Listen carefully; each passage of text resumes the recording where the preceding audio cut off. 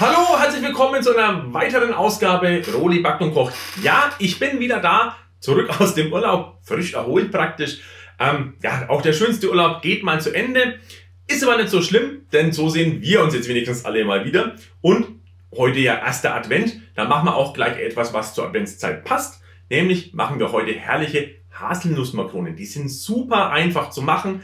Die macht man praktisch wie nebenher. Das, der Aufwand ist so gering.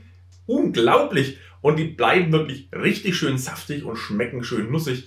Ein echtes Gedicht.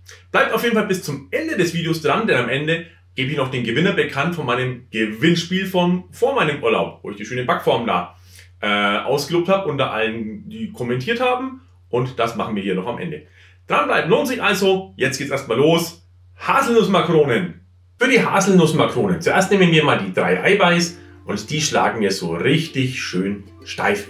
Die genauen Zutaten findet ihr wie immer unten in der Infobox. Da könnt ihr einfach alles schön abschreiben und es nachher richtig schön nachbacken in eurer Küche.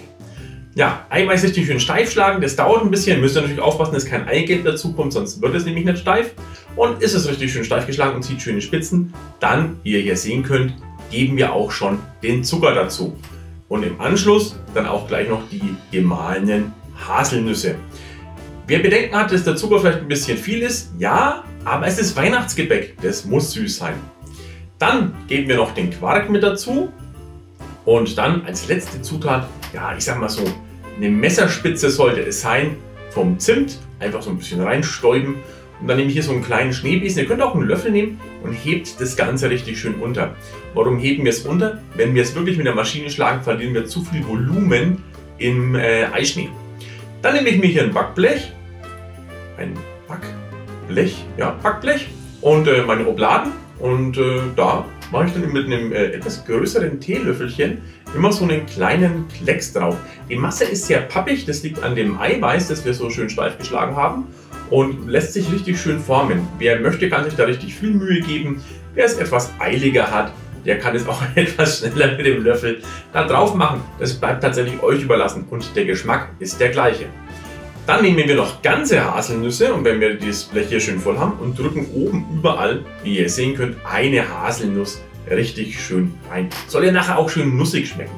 Wir backen das Ganze 170 Grad Umluft, 15 bis 17 Minuten. Es soll oben leicht schön gebräunt sein, aber wirklich nur leicht, also nicht äh, totbacken das Ganze, dann wird es nämlich wirklich wieder trocken. Aber mit den 15 bis 17 Minuten, so schaut das Ergebnis aus. Leute, ein absoluter Genuss. Ja, das war es auch schon wieder mit dem heutigen Video. Ich habe euch nicht zu viel versprochen. Super schnell, super easy, habe ich gesagt. Die bleiben richtig schön saftig, diese Haselnussmakronen. Ein absoluter Genuss. Und jetzt ziehen wir noch schnell den Gewinner von meiner coolen Backform, die ich im letzten Video ausgelobt habe. Dazu nutze ich ein Online-Tool, das einfach aus den Kommentaren jemanden rausfiltert. Und let's go!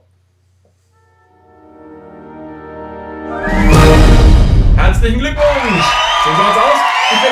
Kontaktieren, dann lasse ich dir das irgendwie zukommen. Müssen wir schauen, dass wir da zueinander finden. Aber ich bin sehr zuversichtlich, dass wir das schaffen. In diesem Sinne, danke fürs Zuschauen und bis zum nächsten Mal. Euer Roli.